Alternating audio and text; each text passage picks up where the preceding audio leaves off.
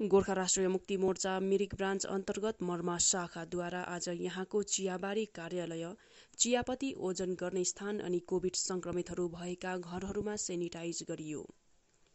गोरामोमो मर्मा शाखाका अध्यक्ष कुमार सुब्बा सचिव ज्ञानदास देवान ग्राम प्रमुख वन्दना राई सचिव एचपिडब्ल्यू मर्मा शाखाका सचिव मणि तामाङ अनि शरण सुब्बाको नेतृत्वमा आज सेनिटाइज गरिएको हो।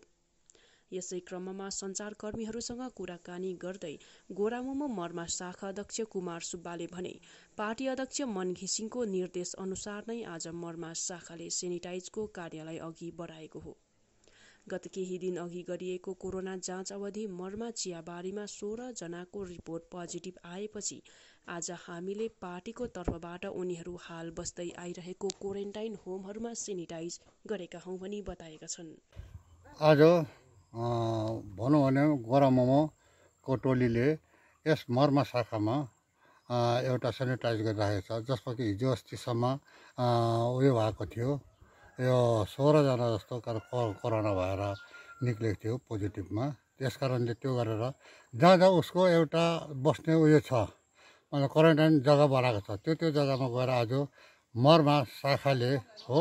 यसलाई चाहिँ के गरिरहेको छ भनेदेखि त्यसलाई क्वारेन्ट उयो लगाएर स्प्रे गरेर उसलाई अगाडि के अरे साफ गरिरहेको छ। जस्तो गाउँघर भयो त्यो गाउँघरमा अरू पनि भाइहरूले लगाउँदै रहे रहेछ हो। त्यसलाई पनि हामी धेरै धन्यवाद दिन्छौँ। र साथमा हाम्रो यो चाहिँ माथि अध्यक्ष मोहन घिसिङको तर्फबाट उसको आदेशअनुसार हामीले यो मर्मा शाखा गोरामोले सेनिटाइज गरेको हो।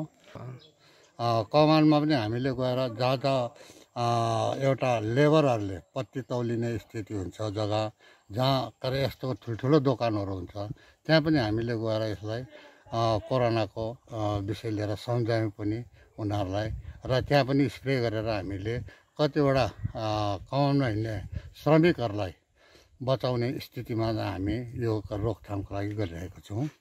म उनीहरूलाई यही भन्नु चाहन्छु तर जति पनि हाम्रो सोह्रजना कर भाइहरू छ यसमा केही सुर्ताउनु पर्दैन।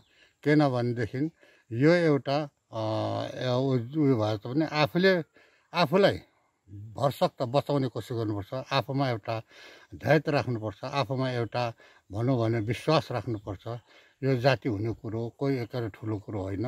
र यसमा चाहिँ विशेष कुरो चाहिँ कोही मान्छे चाहिँ डराउनु पनि हुँदैन।